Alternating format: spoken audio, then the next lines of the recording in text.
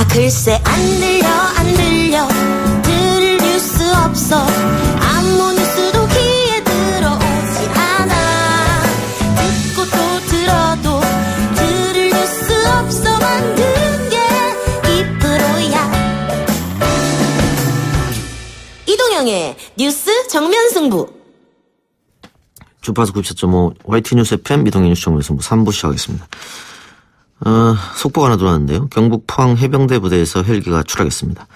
방송 시작 직전에 속보로 소식이 전해졌는데 이 사고로 다섯 명이 숨지고 한 명이 다쳐서 병원으로 옮겨졌다고 합니다. 저희 제작진이 사고가 발생한 해병대 1사단과 소방당국 등 현장에 계신 분들을 급하게 연결해 보려고 시도했습니다만 소방당국은 현장 출동 당시 군부대 자체 진화를 마친 상태에서 부대 내로 진입을 하지 못했다고 하고요. 군 당국은 사고 수습 과정 중이고 원인을 조사 중에 있어서 현재 상황으로는 인터뷰가 곤란한 상황인 것 같습니다. 현재 나온 내용을 바탕으로 신인균 자주국방 네트워크 대표 긴급 연결해 보도록 하겠습니다. 대표님 나와 계십니까? 안녕하세요. 예, 그 속보로 나왔습니다만은 아직 뭐 사고 원인 원인이라든가 사고 경위는 나오는 게 없죠. 네, 원인이야 뭐 지금부터 이제 밝혀내야 될 것이고 예, 어, 사고 경위 같은 경우는 제가 뭐 그 따로 취재를 좀 해봤는데요. 예, 어 연기가 나면서 추락을 음. 했다라는 것이고 그 추락을 하고는 폭발이 있었는 것 같습니다. 음, 네, 지금 뭐 보도는 따로 그렇게 나온 바는 없지만 예. 그 제가 파악하기로는 그 그래서 폭발로 인해서 그러니까 10m에서 추락을 했기 때문에 예, 사실 뭐 6명 중에 5명이 사망하는 것은 아주 이례적인 일이거든요. 어허. 그런데 이제 어, 따로 취재 결과 폭발이 있었던 것 같다. 예. 아, 그래서 다섯 명이나 사망한 걸로 아, 어, 판단이 됩니다. 그러니까 10m 상공에서 떨어졌기 때문에 그렇게 네. 많은 사망자가 안 나올 수도 있었는데 뒤에 폭발이 있기 때문에 사망자가 많이 발생했다 이렇게 보면 되겠네요. 그렇죠. 네. 그 그리고 이게 4시 46분경 추락했다고 하는데 이 네. 수리온 헬기가 정비 후에 시험 비행하다가 어, 추락했다 이런 어, 지금 기사가 나오고 있는 실정인데 네. 그 정비 후 시험 비행인데 왜 이렇게 많은 인원이 탔을까요?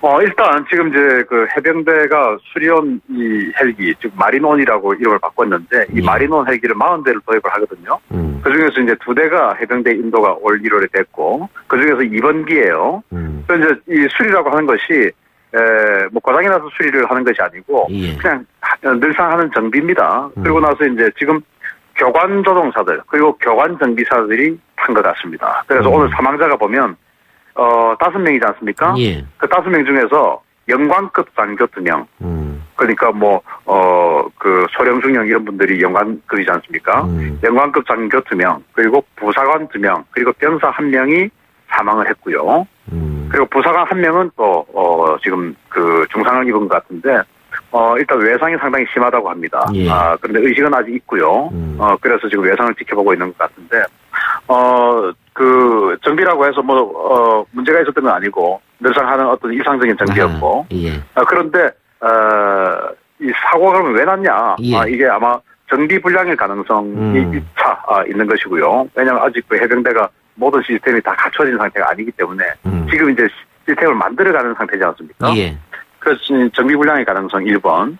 두 번째는 이 수리온 헬기라는 것이 육상에서 작전을 하는 헬기인데 예, 이걸 이제 해상에서 작전하는 헬기로 마린온이라고 이렇게 해서 어, 그 개량을 한 것이거든요. 예, 그러다 보면 이 뭐 여러 가지 그 엔진에 대한 방염 처리, 즉 그 바닷물에 녹이 슬지 않아야 되지 않겠습니까? 예, 그래서 엔진이나 이런 기계에 대한 방염 처리를 이제 따로 다 했는데 그러다 보면 출력이나 이런 어떤 그 어, 기어, 트랜스미션의 그 기어비가 달라져야 돼요. 음, 그런데 이 수리온 헬기 자체가 엔진이 미제 헬기입니다. 아, 미제 엔진이고 그 GE라고 하는 회사에서 나오는 엔진인데 트랜스미션이 유로콥터에서 만든 그 유럽제 영, 아, 프랑스제 트랜스미션이에요. 예, 그래서 미제 엔진에 미제 미션을 붙이면은 조금 더, 어, 그 예를 들어서 우리 한국 그 육군이 쓰고 있는, 육공군이 쓰고 있는 그 블랙호크라든지 음, 이런 건 이제 미제 엔진에 미제 미션인데 이거는 미제 엔진에다가 프랑스제 미션을 갖다 붙인 음, 게 수리온이에요. 그래서 애초부터 문제 있지 않느냐 음. 뭐 이런 것들이 있었는데 여기다가 이제 방염 처리 같은 그런 어떤 그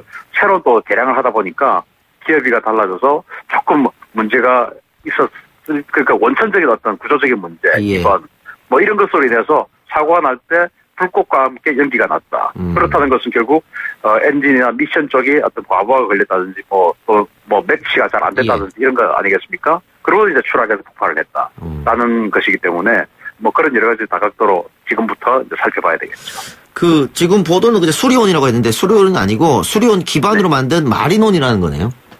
네, 수료는 이제 베이스가 된 그 헬기가 수리온이고요. 예. 그리고 이제 그 해병대 마린이지 않습니까? 예. 그래서 이제 그걸 이름을 그 바꿔서 마린온이라고 부르는 겁니다. 그 수리온이 왜 뭐 국산 헬기다 뭐 이렇게 이런 얘기가 있었는데 그 예전에 또뭐 감사원 감사에서 많은 게 지적당했다 이런 좀 논란도 있었지 않습니까? 네. 그 이후에 그런 것은 뭐 다 보완을 한 겁니까? 어, 수료는 애초에는 모든 것은 국산이 아니고, 예. 어, 그, 프랑스의 유로콥터라는 회사가 있는데, 그 유로콥터에서 만든 퓨마라고 하는 아주 오래된 헬기가 있습니다. 예. 그 퓨마의 기술을 어, 우리가 도입을 해가지고, 그 퓨마 헬기의 기술을 바탕으로 이제 개량을 해서, 우리가 이제 그 독자, 어, 개량을 해서 우리가 독자 생산을 한 것이 이제 수리온 헬기고, 어, 뭐, 감사원에 지적됐고 하- 했던 것은 이제 아주 추운 영하 30도 이상의 기온에서 그 유리, 앞, 앞 유리에 결로 현상이 발생한다. 뭐 이런 것들이었거든요. 예. 그런데 이제 그건 지금 이제 대충, 대부분, 대충이 아니고 대부분 다 해결이 된 것으로, 어, 저는 들었습니다. 그런데 알겠습니다. 이번, 어, 어떤 사고 원인은 그것과는 관계가 없는 것으로 저는 판단합니다. 음, 그 해병대가 마리돈 헬기 두 대를 시작으로 해서 2023년까지 28대를 도입할 계획이었다. 근데 지금 네. 그 1호기, 2호기 중에 한 대가 지금 사고가 난 거죠? 어, 두, 그 2호기가 사고 났습니다. 2호기가 사고 났고. 네. 그 어쨌든 사고 원인을 아직 나, 오지 않기 때 않았기 때문에 뭐 도입 계획이 어그러지고 이런 건 아직 모르 전혀 알 수가 없는 상태겠네요. 어, 도입 계획이야, 어, 그 최종적으로 그, 끝까지 가겠지만, 음. 어, 그러나, 어, 지금 사, 이 원, 사고 원인이 밝혀지기 전까지 상당 기간, 어, 어떤 제작이나 이런 것들을 중단할 수밖에 없는. 어, 그런 상황이 아니냐. 왜냐하면은, 이게 뭐, 엔진이나 또는 미션이나 이런 구조적인 문제다 이러면은 아예 설계를 바꿔야 되기 때문에, 예, 예. 에, 그러한 어떤 그, delay가 되는 현상은 반드시 있을 음. 거라고 봅니다. 알겠습니다. 사고 경위 좀 파악되면 다시 한번 연결해 보도록 하겠습니다. 네, 감사합니다. 예, 고맙습니다. 네. 네, 자주국방 네트워크 신인균 대표였습니다. 이 작가야, 궁금하다. 이 작가야, 이 작가야, 문자 줄게, 질문 다오. 여러분은 지금 웃으며 정보를 입수하고 편안하게 참여하는 이동형의 뉴스 정면 승부와 함께하고 있습니다. 생방송에 참여하고 싶은 분들은 샵 0945, 우물정 0945번으로 단문 50원, 장문 100원의 문자 메시지를 보내주시거나 예스 앱으로는 무료로 참여할 수 있습니다. 지금 바로 보내주세요.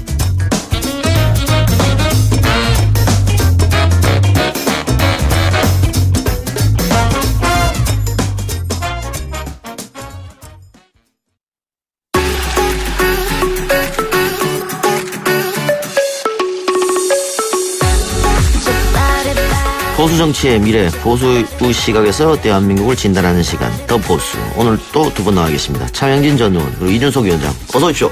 예, 안녕하세요. 반갑습니다. 예, 자유한국당 이야기부터 할 거, 해야 될 것 같습니다. 비대위원장 김병준 교수가, 어, 내정, 확실히 이제 됐죠? 결정됐죠? 네, 오늘 전국위원회에서 이따 왔습니다. 아, 이따 왔습니까? 예. 그 어떤 얘기를 했던가요? 김병준 위원장이? 박수로 초대했다면서요. 네, 박수를 저는 만장일치 초대했는데, 아, 한마디 할까 하다가 그냥 넘어갔죠. 그 안상수 그 전국위원회 위원장이 저한테 특별히 부탁을 하더라고요. 야, 이거 좀 넘어가자. 그래서.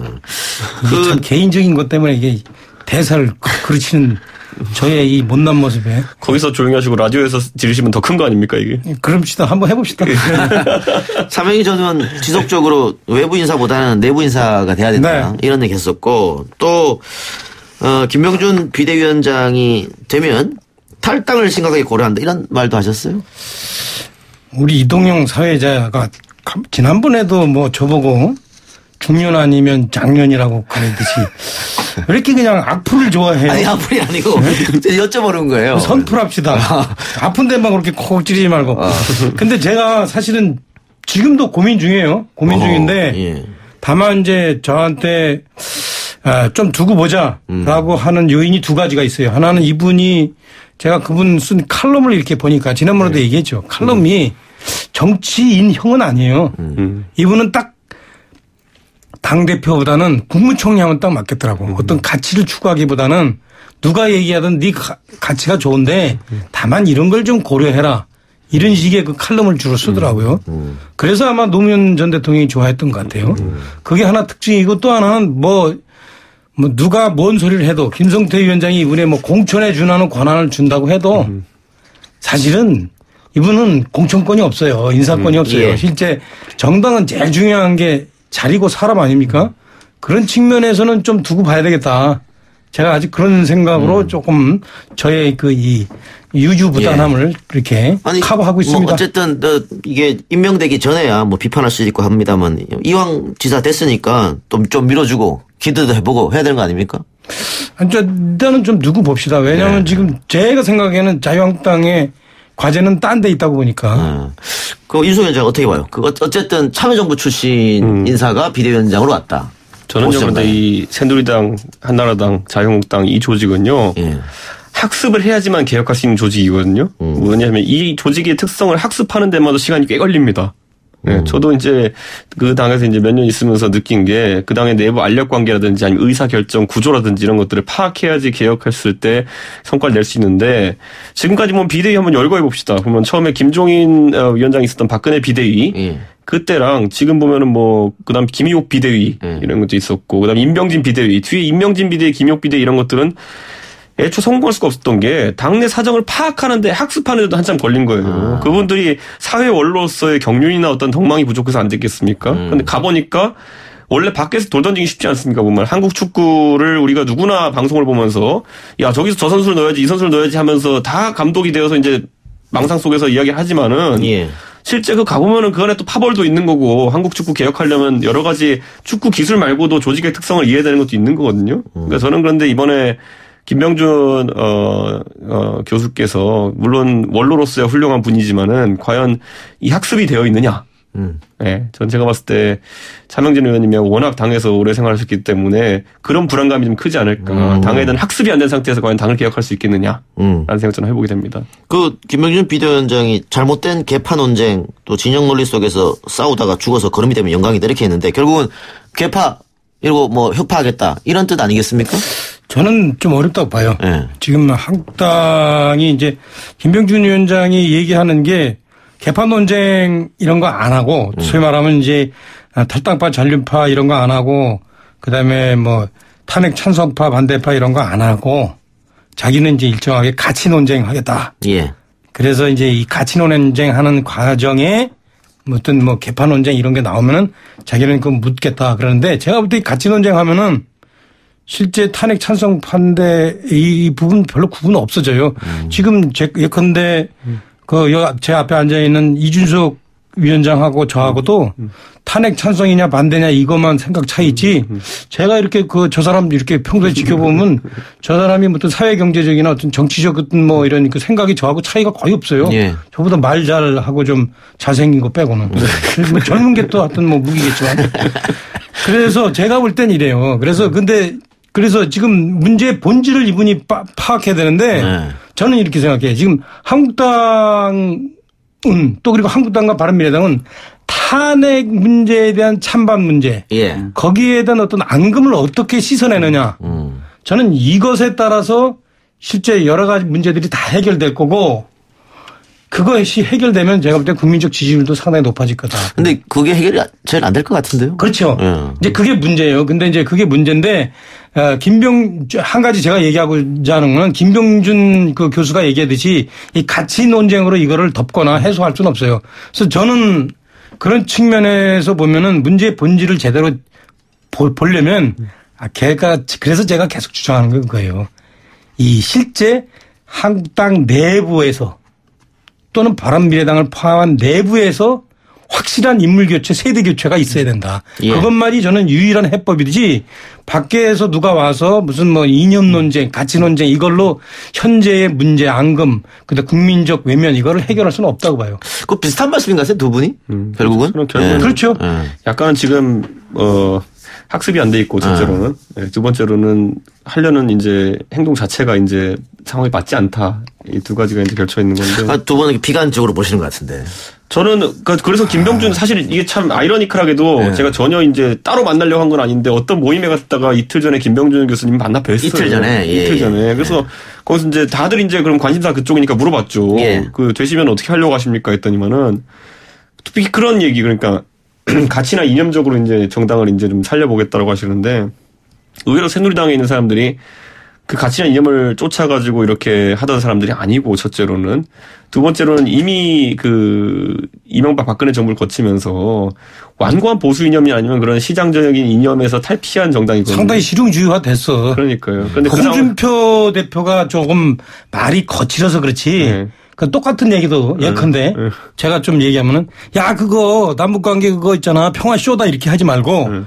예컨대 트럼프한테 당신은 당신의 말 한마디 한마디에 목을 메고 있는 대한민국과 일본 국민들의 그런 애절한 심정을 이해하고 접근해라. 라든가 문재인 대통령한테는 당신은 당신 아버지가 소위 말하면 공산주의가 싫어서 함흥에서 월남한 분이라는 걸 절대 잊지 마라. 이렇게 좀 점잖게 멋있게 얘기하면 되는데 이분이 좀 뭐 평화쇼니 뭐니 이렇게 표현을 나는 거칠게 했다고. 그거 홍준표 대표한테 좀 조언 좀 하지 그랬어요. 그렇게 하지 말라고. 내말안 들어요. 근데 좀 이렇게 했으면 되지. 이것이 무슨 우리가 어? 이념적으로 무슨 아주 극우화돼 가지고 때려주자 때려부시자 공산당 무슨 이런 상황이 아니에요. 지금 이미 아니 한국당은 그 심지어 홍준표 대표라는 사람 자체가 서울 이제 동대문에서 국회의원을 세 번 했던 분이기 때문에 그분이 강북에서 정치하셨던 분이라서 예.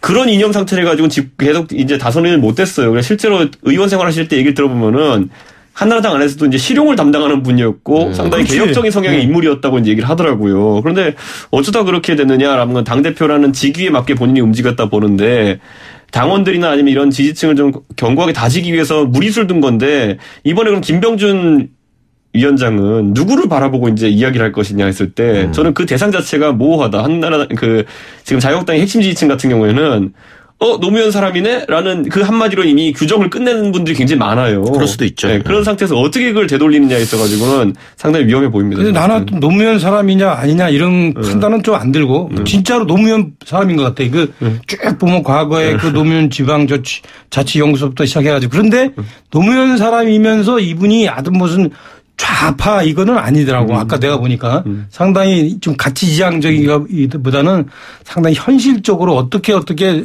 어떤 가치가 실현되려면 어떻게 해야 되는가 이런 것을 추구해요. 예컨대 지난번 뭐 사드 배치 같은 거 할 때 그 당시에 이제 한국당한테 얘기 뭐 했던 새누리당한테 이분이 한 얘기가 뭐냐면 그래 니네 사드 배치 오라 하지만 소위 말하면 안보는 국방적인 참 차원뿐만 아니라 무슨 중국도 고려해야 되고 이런 외교적인 문제도 다 고려해야 예. 된다. 이런 식으로 상당히 또 어떤 방법론적인 측면을 강조했기 때문에 저는 이분이 이제 제가 이제 처음에 생각했던 거하고 달리 너무 그렇게 가치지향적, 이념지향적인 분은 아니에요. 그래서 좀 두고는 봐야 되겠지만 요지는 뭐냐.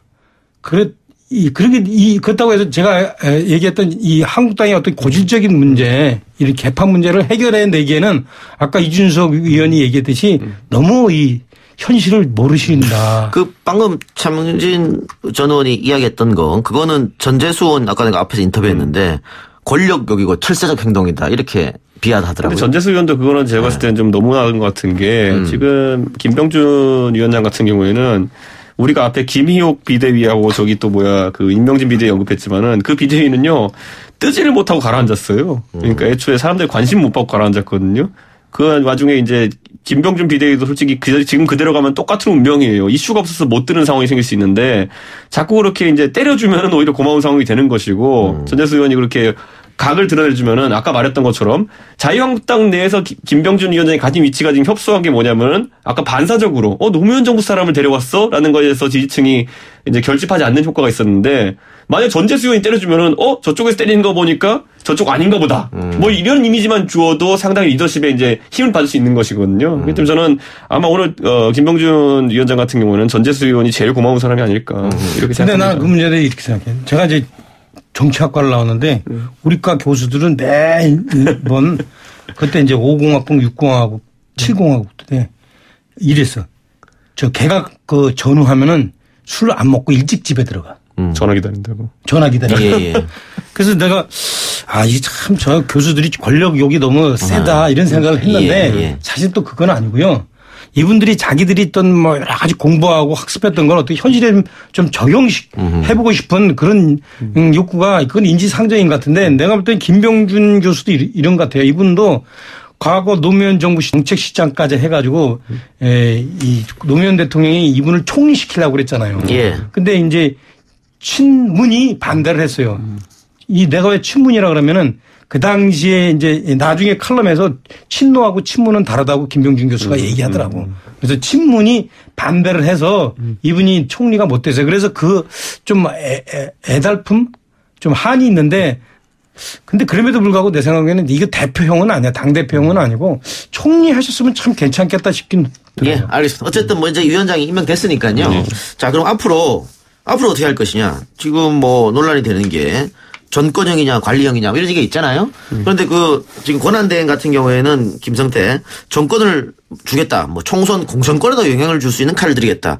근데 2년이나 남았기 때문에 이거는 현실적으로 좀 불가능한 게 아닌가. 결국은 또 뭐 한 6개월 비대위 6개월이 뭐야? 뭐 3개월만 끌어도 조기 전당대회 얘기가 아니, 나올 거라고 보여지는데. 그러니까 기- 공천이 아니 그 공천이란 거는 나중에 사람들이 어느 정도 윤곽이 나와야 거기에 맞춰서 룰을 짜는 게 현실입니다. 예. 보면은 예를 들어 하- 자유한국당의 쇄신을 위해 가지고 차명진이라는 사람이 우리 당에 꼭 공- 후보로 공천돼야 된다. 아니면 그런 성향의 사람들이 공천돼야 된다. 그럼 그 사람들이 유리한 룰을 조금이라도 만들어주는 게 정치의 이제 물갈이 방식인데 그 새롭게 태어날 보수의 모습이 무엇인지도 그려지지 않은 상황 속에서 선거 다가오기 전까지 안 차려지거든요. 그 예. 앞에서 공천에 어떤 룰을 만들 수 있겠습니까? 제 생각에는 그냥 립 서비스고 예, 제가 봤을 땐 관리형은커녕 제가 봤을 땐 관심 받는 게 어렵지 않나는 생각을 좀 하게 됩니다. 제 생각에도 이제 동의하는데 그러니까 이 김병준 교수가 당 상황 이런 거를 제대로 파악했다면 영민하다면 이렇게 할 것 같아. 아 제가 할 일은 현재 당의 어떤 그 소위 아까도 얘기했던 어떤 소위 탄핵과 관련된 앙금들을 씻어내는 어떤 뭐 식인국 같은 거 한번 합시다. 뭐 이렇게 하든가. 그럴 자신이 좀 없으면 빨리 지금 전당대회를 열 수 있도록 제가 준비하겠습니다. 아니 뭐 이준석 위원장이야 다른 당 사- 사람이니까 잘안 될 거라고 예측할 수도 있는 건데 같은 당 사람이면서 지금 동의한다 그러면 어떡합니까? 아니 일단 이분이 들어와서 좀 제가 볼 땐 시간 벌기는 할 것 같아요. 그러니까 문재인 대통령하고 저 대척점에 있잖아요. 문재인 대통령을 가장 잘하니까 아마 그 부분에 대해서는 좀 기여를 할 수 있을 것 같아요. 제가 볼 때. 그러면 결국은 전당대회 전 관령으로 가면은 그 일각에서 이야기하는 바지 사장 그게 맞아 들어가는 거 아니에요? 그러니까 아까 말했듯이 관심 받는 방법이 이제 필요한데 그래서 예전- 예전에 이제 제가 비대위 할 때 생각해 보면은 그 김종인 그 당시 비대위원이었죠. 관심 받는 법을 많이 이제 사용하시더라고요 보니까 예를 들어 정강 정책을 바꾸자 해가지고 거기서 이제 뭐 그 당시 보수 삭제하자 이래가지고 당연히 찬반이 뒤따르는 걸 알면서도 일을 벌려가지고 상당한 관심을 받으셨거든요. 저는 이번에도 그런 어떤 전술적인 움직임들이 좀 있으면은 그래도 관리형 비대위 중에서는 성공한 모습이 나오지 않을까라는 생각을 좀 하게 되고 결국엔 전당대회 가야지 권위가 생기죠. 그래야 그 당이 분위기가 사는 것이고 지금은 이런 표현하기 그렇지만은 비대위원 명단에 대해서도 별로 사람들이 기대감이 없는 상황이 좀 될 겁니다. 지금은. 근데 네. 이, 이 역사는 반복하지 않, 않아요. 그리고 반복하면 희극이 되는데 그래서 들어서 강령의 어떤 뭐 구, 자꾸를 바꾸고 이러는 거 몇 번 해봤잖아요. 그래서 그 김병진 교수가 그렇게 한다고 그게 관심이 올까? 저는 그런 생각은 안 들고 하여튼 제 생각에는 이분이 좀 영민한 것 같은데 영민하니까 이 아까도 얘기했듯이 탄핵 찬반에 대한 앙금을 풀든지 아니면 빨리 빨리 전당대회 준비를 가든지 그렇게 하지 않을까. 그 탄핵 앙금을 푼다는 게 그 무턱대고 하에는 겁니까? 아니면 반대로 인적 쇄신을 해서 풀어내야 되는 겁니까? 저는 후자라고 봐요. 인적 쇄신해야 네. 된다. 탄핵에 책임 있는 사람 있잖아요. 예. 그 저기 그이 뭐 어때? 예, 우리 이준석 비대위원장 의 저 위에 있던 분들 예. 포함해서 또 그다음에 저기 박근혜 대통령 바짝 붙어 있던 분들 예. 그런 사람들 그다음에 거기 있다가 중간에 친홍으로 이렇게 싹 어? 색깔 바꾼 사람들 예. 아, 그런 사람들 당원들이 보기에는 진짜 꼴보기 싫거든요. 그러니까 비대위원장이 어떤 힘으로 이 사람들을 인적 쇄신을 시킬 수 있느냐. 그 관건이잖아요. 아, 우선 이번에 그 당직 배제 싹 시키고 우선 첫 번째 아하. 단계로서. 근데 원내, 배제. 이번에 근데 원내 대표가 이제 원내 원구성하면서 이제 좀 그걸 못한 걸 보니까 좀 힘들지 않겠나 생각을 하게 되는데 원래 그 사람들 삼선급인 사람 아까 차명진 의원님 열거한 분 중에 삼선급 사선급인 사람들 국회 부의장이나 아니면 상임위원장에서만 싹 배제했어도 정치적 의미가 상당하거든요 보면은 그런데 이번에 찾아 들어갈 사람 다 찾아 들어갔다고 또 보니까요. 음. 그럼 이건 이건 어떻습니까? 그 김성태 권한대행이 수구적 보수, 냉전적 보수를 다 버려야 된다 이렇게 얘기했는데 그러면 이념 당 이념을 새롭게 정, 정립하는 문제에 대해서 그러니까 그 사람은 자기 생각을 이렇게 보면은 별로 무슨 말 하는지 잘 이해 못하고 많이 하더라고요. 엊그저께도 보면은 아니 쭉 했던 얘기들 보면은 뭐 나름대로 좀 이렇게 그뭐 영향력 있는 어? 그런 발언을 한다고 하는데 자기 하는 말이 무슨 뜻인지 모른다고 생각해요. 제가 보면 아까도 얘기했잖아요. 한국당은 이미 MB 때부터 상당히 그이 왼쪽으로 가서 실용화돼 실용 있어요. 문제는 뭐냐면 그것을 담지하는 대표들이 발언들이 좀 상당히 좀 여러 가지로 문제가 있어서 그런 그러니까 거지. 아까 차명진 의원이 비판했던 홍준표 대표 워딩은 누가 봐도 냉전적 보수잖아요. 아, 그건 냉전이 아니에요. 쇼다 뭐 이렇게 얘기하는 거. 그거는 이제 희- 희극이지 희극. 희극. 그건 냉전적 보수가 아니라요. 언어 장난. 희극. 근데 어쨌든 그렇게 스탠스를 갖추면서 국민들한테 외면받은 거 아닙니까? 그러니까 원래 뭐 그런 측면도 있는데 저는 아까도 얘기했듯이 우리가 좀 이런 문제를 볼 땐 좀 특히 이동용 그 이 앵커 같은 이렇게 왼쪽 사람들 이 좌파 프레임에 얽매이지 말고 좀 냉정하게 객관적으로 봐- 봐야 되는데 우리가 수구 뭐 이렇게 해가지고 국민적 지지 못 받은 게 아니에요. 탄핵을 둘러싼 그런 그 이 개파 싸움이 국민들한테 상처를 줘서 그런 거지. 그거 뭐 수구 안, 아니 수구 안 하고 왼쪽으로 간다고 그래가지고 무슨 뭐 지지율이 높아질까? 그렇지 않아요. 그러니까 이런 거 있잖아요. 보면 이렇게 표현할게요. 그러니까 예를 들어 안에 보면 새누리당 안에 보면은 뭐 헌법학자 출신 의원도 있고 이렇잖아요. 예. 그런데 보면 헌법에 대한 해석 같은 게 학자일대 소신과 의원 돼 가지고 이제 달라지고 이런 경우가 있잖아요.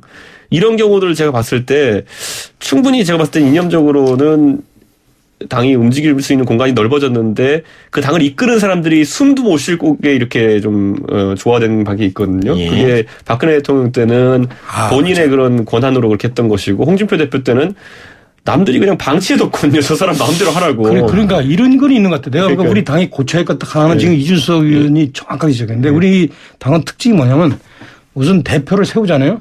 그럼 그 다음 그 순간 신격화해. 어허. 지난번에 그, 저, 비대위원장 된 사람은 되고 나서 있죠. 그 밑에 있는 그 당뇨들이 어떻게 하냐면 그 사람 쓴 책 있자 옛날 거. 예, 예. 그거 다각 강협에 한, 한 두어 권씩 다 팔았어. 그거 우리 비싼 당비로.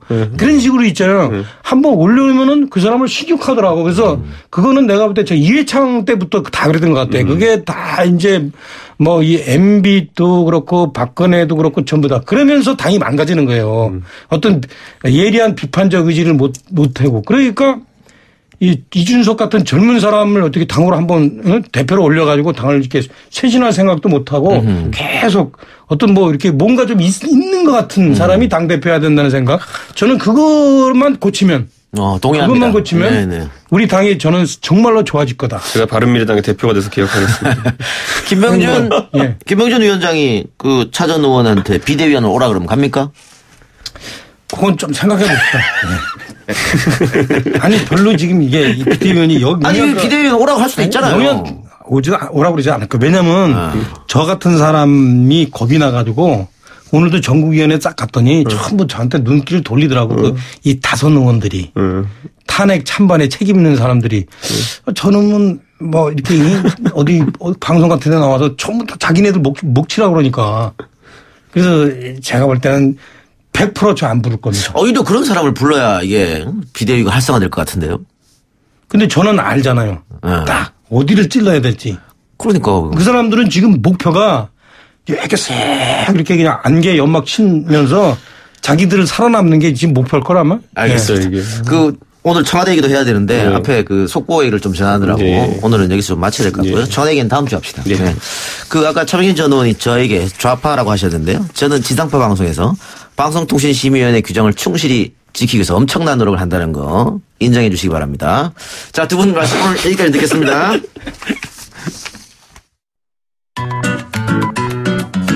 뉴스 신동. 이 작가와 함께하는 비포장 뉴스 해학 뉴스 정면 승부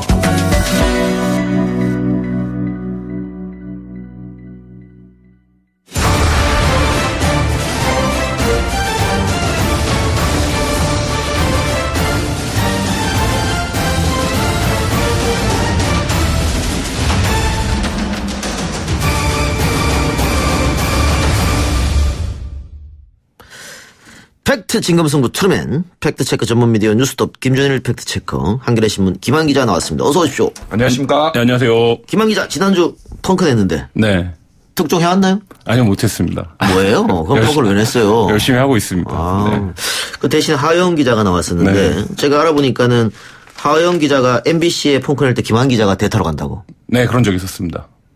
MBC 가지 마세요. 이런 걸 보고 전문 용어로 이제 돌려막기라고. 아. 돌려막기. 가면 안 네. 됩니다. 그래서 가끔 그런 얘기도 했습니다. 회사가 상암동으로 이전왔으면 좋겠다. 그 박지원 씨가 진행하는 MBC. 네. 아무도 안. 듣는 방송이라고 그러더라고요. 타사를 그렇게 비방하면 아까 방송통신위원회 공정한 진행 노력하신다고 했는데 타사 비방 아니, 어, 주위에 그렇다고 말합니다. 아, 네. 소문을 제가 전해드린 거고요.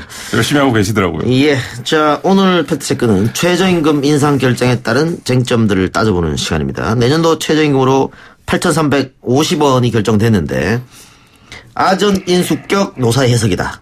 어, 예를 들면, 경영계는 주유수당을 포함하면 최저임금은 이미 만 원이다. 라고 주장하고 있고요. 반대로 노동, 노동계는 산입법이 학대로 실제로 어, 인상률은 한 자릿수에 불과해서 여전히 철저한테다. 이렇게 3천 원이나 차이 나고 있습니다. 왜 이렇게 주장이 엇갈리는지 한번 전, 전, 어, 전체를 한번 살펴보도록 하겠습니다. 일단 어, 이 사용자들이 이야기하는 주유수당. 주유수당이 뭡니까? 예. 주유수당은 이제 근로기준법 55조를 보면은 사용자는 회사는 근로자에게 일주에 평균 1회 이상의 유급 휴일을 보장해 줘야 된다라는 겁니다. 일주일에 한 번? 일주일에 한 번. 네. 그러니까 쉬게 해 주는데 돈을 돈을? 주는. 예.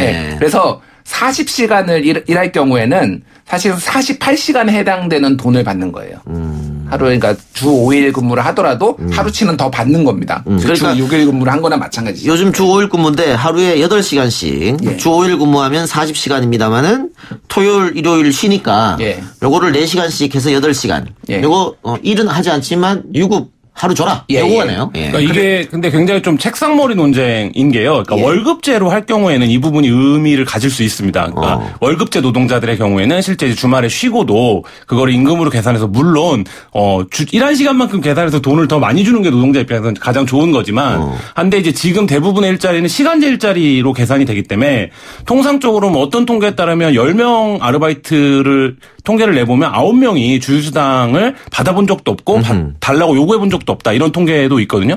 그런 만큼 사실상 어, 유명무실한 조항이었는데 대부분의 어 이제 사업장들에서는 시간 곱하기 최저임금 그렇게 뭐 해서 이런. 예, 이렇게 예. 지급을 하는데 근데 이 최저임금 금액을 둘러싸고 어, 노동계와 경영계 쪽의 입장이 충돌하면서 이 주유수당이 포함이 되는 것이냐 아니냐, 뭐 산입 범위가 들어가는 것이냐 아니냐 이게 실제로 현장에는 거의 파급이 없는 논쟁을 어, 숫자 논쟁을 지금 하고 있는 셈이죠. 김준일 팩트체크는 본인의 회사를 운영하니까 예. 해당되지 않을 테고. 김한 기자는 주유수당 받아요? 제 월급 명세서를 구체적으로 보지 않아서 모르겠는데 저는 이제 월급제 노동자기 때문에 아 이번 달 월급의 항목이 이런 것들이구나 휴일 근로 수당이 이렇게 들어왔구나 요런 정도 항목이 이제 계산이 돼서 되는 항목표를 이제 당연히 봤는데 네. 실제 거기서 뭐 주유 수당이 얼마고 이거를 아는 아, 받긴 해요? 네, 노동자 예, 휴일 근로 수당은 받고 무조건 있는 받게 돼 있습니다. 있습니다. 이거는. 우리 PD 받아요? 몰라요. 저는 대부분 명세표를 자세히 안 보기 때문에 얼마 받는지도. 그런데 아르바이트생들은 당연히 주유수당이 뭔지도 요즘 몰랐고 지금까지 당연히 안 받는 거다. 내가 그냥 8시간 일했으면 하루에 8시간 곱하기 뭐 8천 원이면 8천 원 이렇게 계산해서 받았잖아요. 그렇죠. 그게 일반적인 셈법이죠. 왜냐하면 이제 지금 소상공인이나 영세상인들의 문제를 많이 얘기하는데 소상공인이나 영세상인들이 임금을 주면서 이런 아, 복잡한 규정들을 다 일일이 계산해갖고 임금을 측정해서 주기가 사실상 불가능하기 때문에 그 부분에서는 이제 최저임금 정도가 어, 사람들의 머릿속에 있는 기준선인 거고 그 외의 규정들은 사실 어, 실제 현장에서 적용하는 게 굉장히 어려웠다. 어렵다. 대기업에서 예. 운영하는 건 가능하겠죠. 예를 들면은 이것을 실제적으로 현장에 적용하면 최저임금 8,350원에 주유수당 1,680원이 들어가니까 시간당 만 원이 넘는다. 이렇게 되는 거잖아요. 예. 다만 현장에서 적용이 안 되니까 문제지. 그러니까 이게 소위 말하는 이제 편의점 아르바이트 같은 경우에는 이런 주유수당을 지금까지 지급해 본 적도 없고 식당도 아, 마찬가지고. 네, 마찬가지죠. 네. 근데 이제 최저임금을 받는 대기업 근로자들 아. 이런 경우에는 이게 계산이 되는 거죠. 그래서 이게 약간 좀 쓸데없는 논쟁이고요. 네. 어쨌든 더 깎으려는 자와 더 받으려는 자들의 지금 싸움인데 핵심은 그겁니다. 내년 현재는 지금 그 최저임금을 월급으로 환산을 하면은 어, 현재는 지금 154만 원이에요. 아, 예. 157만 원이에요. 예. 근데 내년에는 174만 원이 됩니다. 이제 최저임금을 월급으로 받으면 그러면은 174만 원이 이게 맞냐 적냐 적절하냐 아니냐 이렇게 판단을 해야지 이게 뭐 지금 이런 계산법을 가지고 할 필요는 없을 것 같아요. 아, 그럼 예를 들면은 네. 뭐 현장에서는 주휴수당을 뭐 이루지 않고 있다고 하니까 대기업 빼고 아르바이트생이 어, 월급을 받으면서 사장님 주휴수당 왜 안 주세요? 라고 하면 어떻게 돼? 법으로 법으로 있기 때문에 만약 안 주게 되면 처벌받습니까 업주가? 그게 좀 복잡한데요. 그러니까 원칙적으로는 줘야 되는데 관행적으로 아무도 안 주기 때문에 이 문제가 좀 약간 복잡한 문제예요. 그래서 저는 개인적으로는 주유수당이 지금 전 세계에서 있는 나라가 이제 주요 OECD 국가 중에서 한국하고 터키밖에 없습니다. 일본은 있었다가 없앴거든요. 아. 주유수당을. 그러니까 주유수당의 개념은 애시당초 급격하게 산업화가 되면서 월 임금 노동자 임금이 너무 낮으니까 그걸 보존해주는 측면에서 처음에 생긴 거예요. 근데 이게 이제 이 정도까지 사, 고- 산업이 고도화되면은 이런 규정을 할 필요가 있느냐. 라는 이제 의문이 제기되는 거고 그 타당한 지적이 어느 정도 타당하거든요. 그래서 주유수당을 이번 기회에 논쟁이 나온 김에 약간 손 보면서 다른 식으로 좀 이거를 보전하는 방식으로 가는 게 맞지 않나 저는 그- 개인적으로 그렇게 보고 있습니다. 그러면 아까 그 김준일 씨가 이야기한 어 지금 논 논쟁의 핵심은 그게 아니니까 주휴수당이 아니니까. 예. 어 이 최저임금으로 한 달치 월급 받는 거 이걸 이게 적정하냐? 그렇죠. 생활이 가능하느냐? 174만 원을 받는 게한 달에 최저임금이 이게 적절하냐 아니냐 높냐 낮냐를 가지고 얘기하는 게 맞을 것 같아요. 174만 원은 이제 하, 하루에 8시간 일하면 나오는 그렇죠. 금액이죠. 예, 예. 주 40시간 기준으로. 주 5일, 예, 주 5일. 토요일을 쉬고 예, 예. 174만 원 어떻습니까, 김한 기자님? 그래서 뭐 이부 이 금액이 절대적으로 높으냐 낮으냐를 뭐 얘기하기는 어려울 것 같아요. 그 사회별로 다 차이가 있기 때문에. 근데 지금 어쨌든 국가에서 보장 그러니까 기준으로 정하고 있는 최저 수준의 생계가 가능한 금액 은 있는 거잖아요. 이 정도는 돼야 최저 생계를 네, 가능하다. 그, 이- 예, 이그 수준의 금액에서 이제 비교를 해봐야 될 것 같고요. 근데 지금 이 논쟁의 핵심은 이제 아까 김준일 기자님도 얘기하셨지만 이 부분이 금액이 많다, 최저임금이 높다라고 주장하고 싶은 사람들과 아니다, 여전히 최저임금이 낮다라고 주장하고 싶은 사람들이 정면으로 부딪히면 결국엔 마- 말씀하신 대로 최저임금 사람들의 머릿속에 들어오는 인지되는 금액을 높이는 방향의 논의를 해야 되는데 그 논의를 하기가 모두가 부담스러우니까 이 주유수당이라는 개념을 애초에 주장했던 건 노동계였어요. 그러니까 최저임금 인상 속도가 지난 보수 정권에서 너무 낮았기 때문에 이 주유수당이 있다라는 걸 포함해서 고지를 하면 노동자들이 제 권리를 찾아서 나도 주유수당 주세요 이렇게 요구를 하면 실질적으로 임금 인상 효과가 있으니까 노동계 입장에서는 협상이 잘 안 되니까 주유수당 얘기를 그때부터 하기 시작한 거거든요. 예. 근데 지금은 반대로 경영계가 주유수당이 포함되면 최저임금이 만 원이 넘어버린다 이렇게 얘기를 한 거예요. 왜냐하면 그러니까 이게 몇 년 전에는 어 경영계가 어 그래 그러면 주휴수당 해갖고 발표하자 이렇게 이제 합의를 해줬던 부분인데 지금은 오히려 이게 거꾸로 입장이 전환이 돼서 그러니까 최저임금 인상 속도가 너무 높다라고 이제 그 경영계가 판단하니까 굉장히 설파를 하고 있는 논리 중에 하나입니다. 예스 앱으로 장담빈님, 알, 아르바이트생이 주휴 수당 요구했다가 잘리는 경우 많이 봤어요. 그 업주 입장에서는, 아, 그래? 그러면 일하지 마. 제가 한 20명 정도 아르바이트를 쓰는 업체의 대표랑 얘기를 해본 적이 있는데요. 요새 아르바이트들이 굉장히 이것들을 검색을 많이 해서 온다는 공부해서 거예요. 와요. 네. 예, 예. 그래서 자기도 이제 지난달부터 그 왜 이렇게 세무 기장을 하는 거는 이제 익숙하게 들어보신 적이 있을 텐데 노무사를 고용을 해서 내가 아르바이트한테 얼마를 줘야 되는지 아. 그러니까 이 대표도 모르는 거예요. 근데 이게 어, 어떤 일이 발생하냐면 그래서 서로 간에 굉장히 마찰이 발생하기 시작합니다. 예를 들면 이 아르바이트생은 8시 반에 왔으니까 예. 8시 반부터 임금이 계산된다라고 주장을 하는데 이 업장은 9시에 문을 여는 거예요. 그러니까 이 대표는 당연히 9시부터 임금을 계산하는 거잖아요. 그러면 또 막 그 아르바이트생이 그걸 찾아갖고 와요. 그러면 이제 서로 간에 과거에는 없었던 이제 분쟁 같은 것들이 발생을 하고 또 이게 이제 아르바이트생 대 아르바이트생, 그러니까 끼리도 이제 서로 하고 그래서 굉장히 좀 현재 어지러운 상황이다. 뭐 이렇게 얘기를 하더라고요. 아, 홀, 현장에서 혼란이 극심하겠네요. 예. 자, 그러면은 노동계에서 주장하는 최저임금 산입범위 확대 때문에 실질 인상률은 두 자리가 아니고 9%에 그친다. 이 주장은 맞는 얘기입니까? 9%라는 전망도 있지만요. 그거보다 더 낮다. 뭐 2% 얘기도 나오고 그래서 민주노총 산하 연구원에서 나온 얘기는. 그러니까 이거는 어, 그러니까 오늘 방금 말씀하셨던 게 다 일부 일정 부분의 진실을 담고 있어요. 산입 범위가 확대된다는 거는 그 주- 지금까지 받았던 식비 예. 실물로 받았던 뭐 식비 이런 것들을 다 최저임금에 포함시킨다라는 거거든요. 그러면은 최저임금 인상 효과가 있기 때문에 실제 예전에 한참 이그 산입 범위 확대했을 때 얘기가 나왔지만은 실질 임금 감소 효과가 있어요. 그거를 앞으로 몇 년 동안 수년 동안 계속 산입을 범위로 더 확대하니까 그래서 노동계 주장이 아주 틀린 얘기도 아닙니다. 그래서 실질 임, 그 최저임금 상승 효과가 매우 제한적이다라는 주장이 완전히 틀린 말은 아닌데 그래서 좀 복잡합니다. 이 이거가. 그래서 제가 제안을 하는 거는 최저임금의 문제를 이렇게 본인들한테 유리한 방식으로만 이렇게 하지 말고 도대체 이 총액이 적정한지 아닌지를 놓고 좀 생산적인 논의를 해야 되지 않을까 저는 그렇게 보거든요. 예, 그리고 다음 쟁점. 최저임금 상승은 인건비 폭탄이다.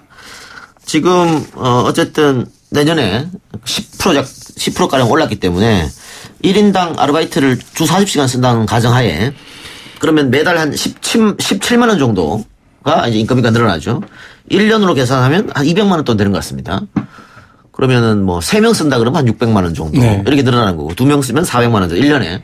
근데 이거를 과연 한 달에 한 17만 원, 2명 쓰면 34만 원 이 돈을 폭탄이라고 할 수 있을까? 이것보다는 더 많이 나가는 결국은 제로비라든가 또 뭐 프랜차이즈한테 본사에 주는 돈이라든가 또 임대료 이게 더 세지 않느냐.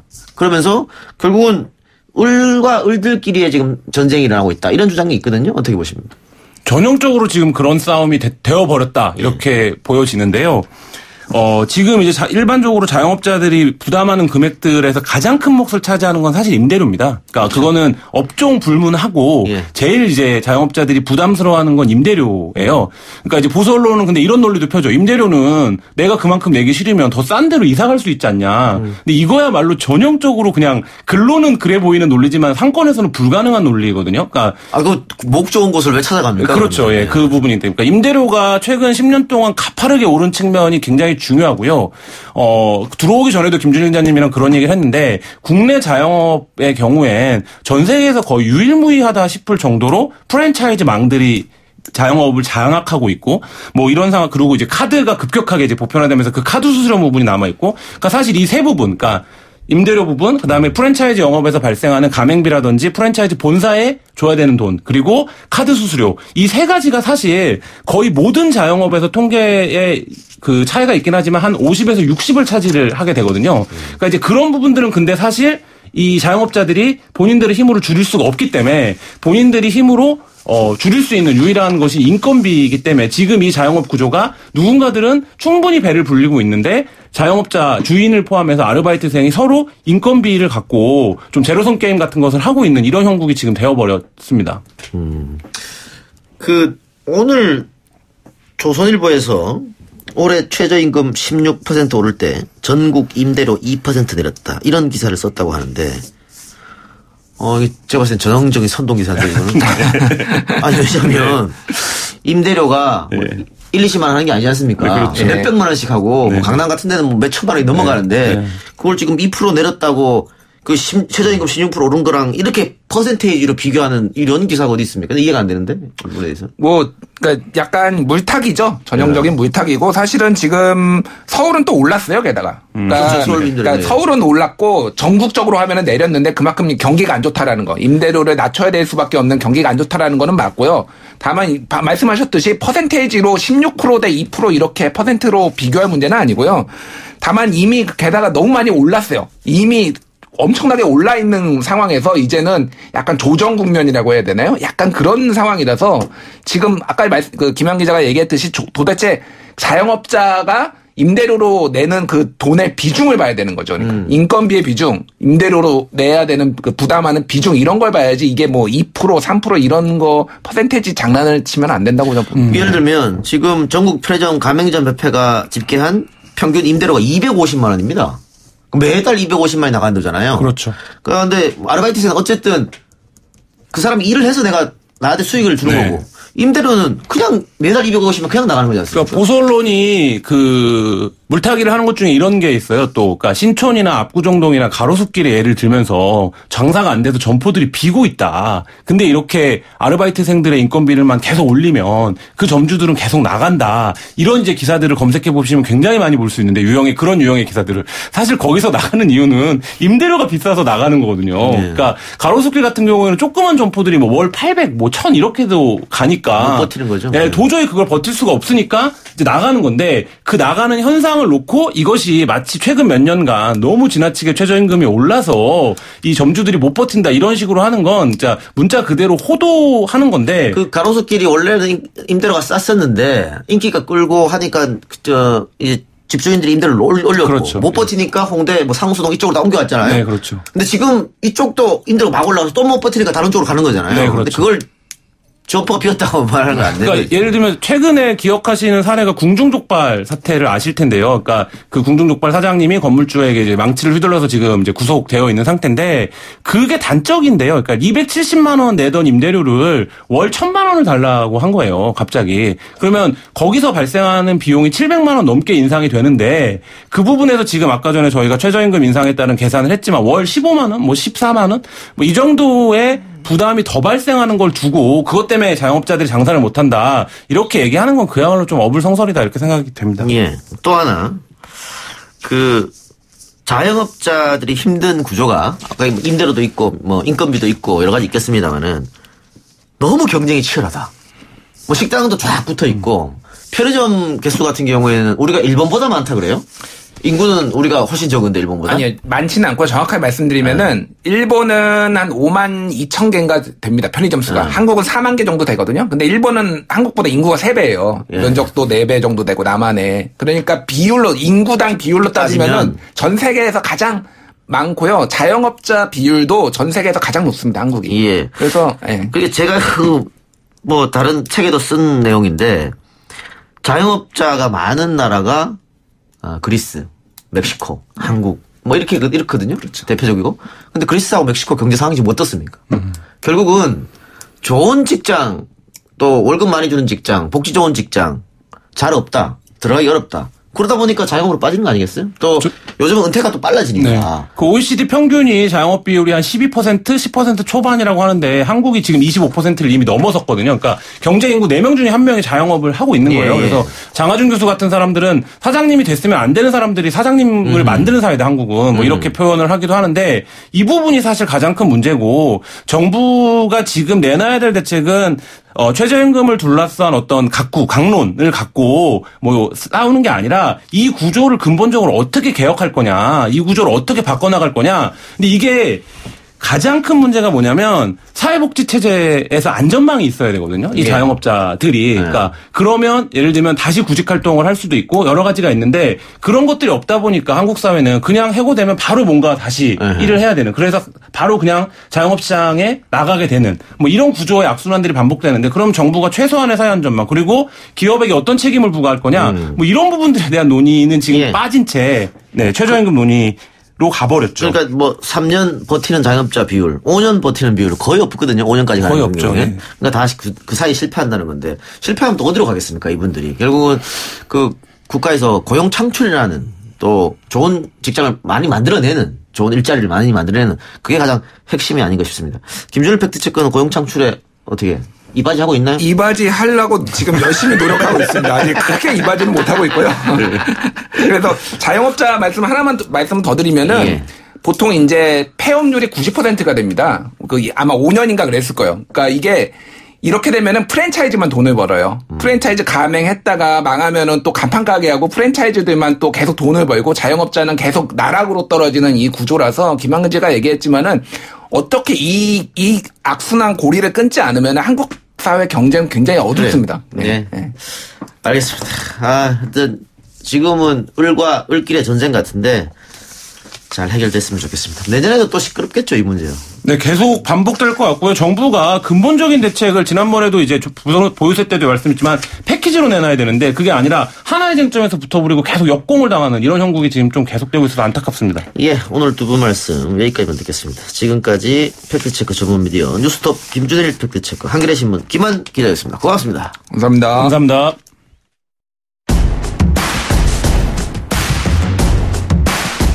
이동희 뉴스 정면 승부. 오늘 저희가 준비한 내용은 여기까지고요. 내일 이 시간에 저는 다시 돌아오겠습니다. 편안한 밤 보내시길 바랍니다. 고맙습니다.